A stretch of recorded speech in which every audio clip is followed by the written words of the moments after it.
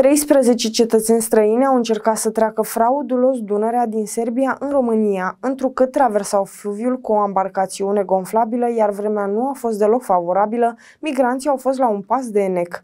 Aceștia au fost observați de către polițiștii de frontieră în localitatea Crivina.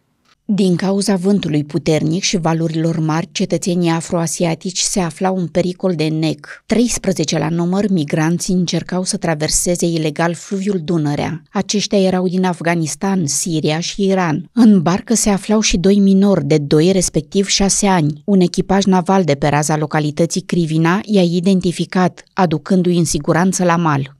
Polițiștii de frontieră din cadrul sectorului Poliției de Frontieră Porțile de Fier 2, pe timpul desfășurării misiunii de supraveghere, au observat pe direcția kilometrului fluvial 893 o embarcațiune pneumatică cu 13 persoane care se îndrepta dinspre Serbia spre malul românesc al Dunării.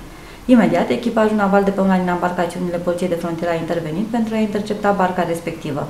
Din cauza condițiilor meteo nefavorabile, cod galben de vânt puternic, valuri mari, cei 13 cetățeni afroasiatici se aflau în pericol de înnec.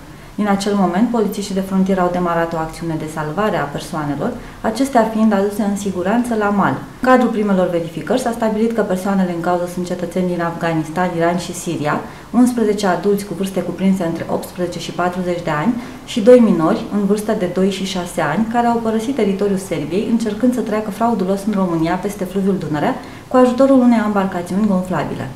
Imediat, persoanele în cauză au fost conduse la sediul sectorului pentru verificări, unde li s-a făcut triajul epidemiologic. În cadrul primelor verificări, polițiștii de frontieră au stabilit că cei în cauză sunt cetățeni din Afganistan, 10 adulți cu vârste cuprinse între 18 și 50 de ani. De asemenea, în cadrul cercetărilor, cetățenii străini au declarat că au trecut frontiera din Serbia cu o embarcațiune cu motor condusă de unul dintre cetățenii afgani.